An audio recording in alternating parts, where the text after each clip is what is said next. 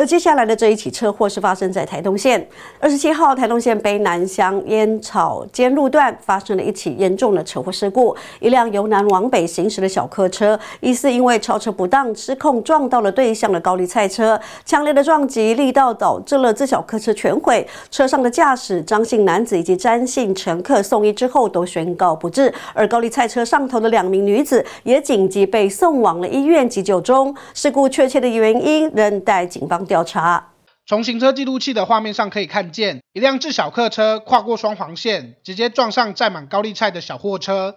而巨大的撞击让小货车上的高丽菜全部喷出。而肇事的小客车驾驶以及车上的乘客被送往医院急救后，仍是伤重不治。而跟在高丽菜车后方的驾驶，则是回忆起当时车祸发生的状况。一台车是发财车这样过来，就是我们跟在发财车，就是高丽菜车后面，然后。对向来车是对向来车是一台自小客，嗯，那自小客在转弯不慎的时候，就是它的转弯幅度拉错，结果它突然偏右偏太多，它就要拉回来拉回左，就拉回左的时候拉过头，就副驾驶座这边直接被正向撞上去。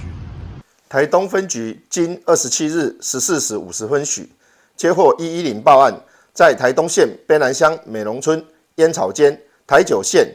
三百四十八公里处发生重大交通事故，经远警到场处理，为自小客车沿台九线由南向北行驶，因不明原因跨越双黄线驶入对向车道，与对向自小货车发生事故。自小客车驾驶张姓男子及乘客詹姓男子送医抢救不治，另小货车上驾驶杨姓女子及乘客杨姓女子等二人受伤。详细肇事原因深入调查中。这起车祸事故造成至小客车上头的两人不幸身亡，而被撞的高丽菜车上的两名女子，目前则是在医院进行救治当中。详细的车祸肇事原因以及后续的责任归属，目前则有待警方进行深入的调查以及厘清。记者陈继林，卑南乡报道。